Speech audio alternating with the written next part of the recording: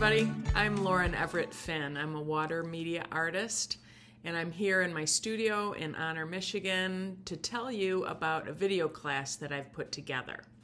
It's how to use your iPad and Procreate to make your paintings better. When I'm stuck on a work, like if I'm in the middle or so on a painting and I'm just not sure what direction to take, I'll grab my iPad, take a picture of the painting, and use Procreate to audition all different kinds of ways to move forward. It's a really quick and efficient way to audition all those weird ideas that pop into your head. Instead of doing it on the actual work, you can try it digitally first. And then when you have a direction that you're happy with, when you go to paint on your painting, you feel real confident in knowing that that's a good solution and um, so you approach the painting more confidently too.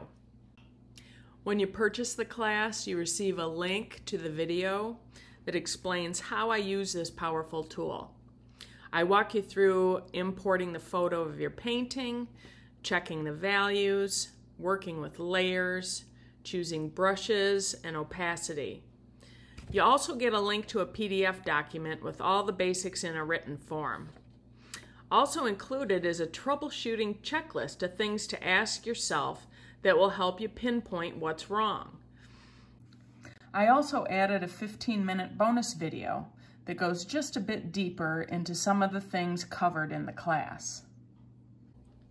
You can sign up through the Oliver Art Center. The link is below in the video description. I hope you'll join me.